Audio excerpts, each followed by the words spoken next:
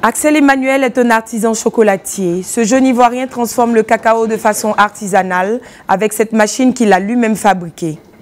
Nous avons essayé de confectionner nous-mêmes notre propre machine qui fabrique le chocolat par nous-mêmes les chocolatiers avec des talents nationaux des Ivoiriens, une machine qui fabrique le chocolat de A à Z.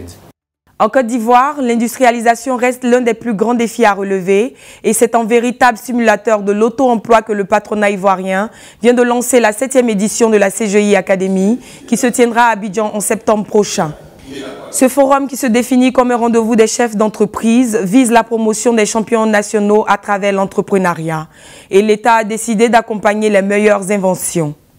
Nous avons une industrie suffisamment diversifiée, mais il faut faire plus parce que la marge est encore, la marge de manœuvre, je dis, encore forte. Pour le cacao, autour de 30% de taux de transformation.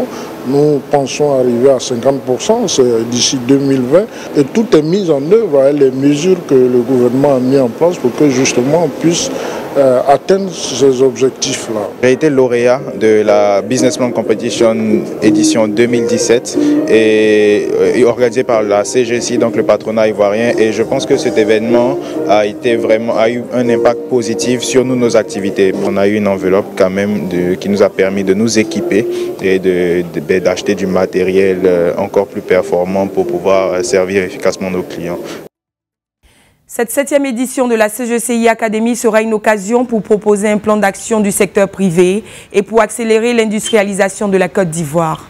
Elle permettra également de faire l'état des lieux du secteur privé et d'identifier les opportunités de développement des filières.